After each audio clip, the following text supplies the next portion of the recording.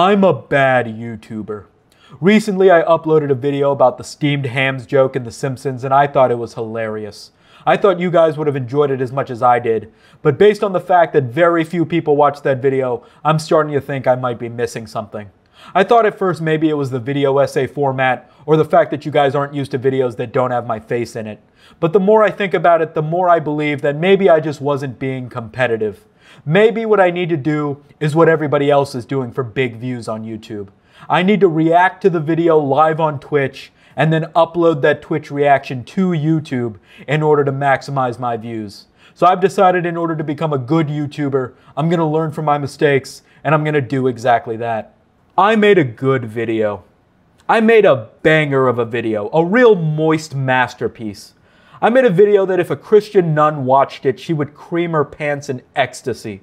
It wasn't a video that I farted out in just an hour or queefed out of my ass cheeks with little to no effort. No. This was a focused video essay filled to the gullet with memes galore. But that video kind of shit the bed.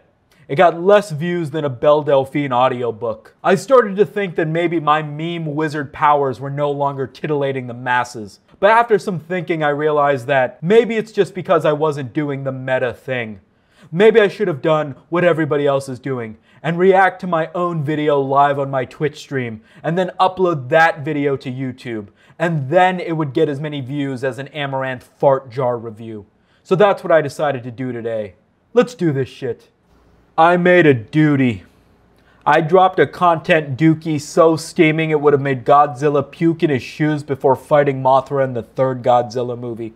Truthfully, that video was so good, it would have woken up Snorlax on Route 12 in the Generation 1 Pokemon games without use of the Poke Flute. I thought I released a video essay that was so good everybody would jizz their pants.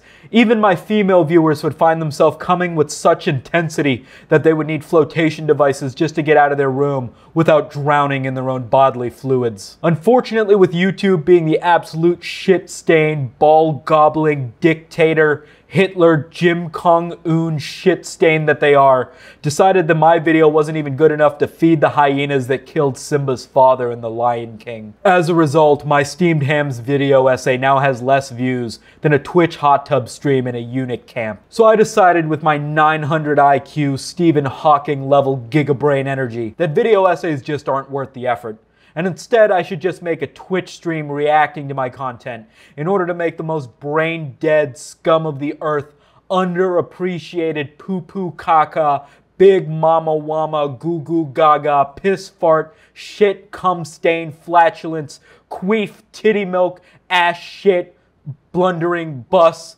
titty milk, shit cum camel hump reaction video I could possibly make instead. So here we go. All right, let's get this poop train started. What's up everybody, it's Critikal, and uh, this is going to be a gameplay and commentary for a video essay I did about the Simpsons sketch around steamed hams. I worked really hard on it, and I thought it was funny, so uh, yeah, I wanted to share it with you guys. Hope you enjoyed as much as I do.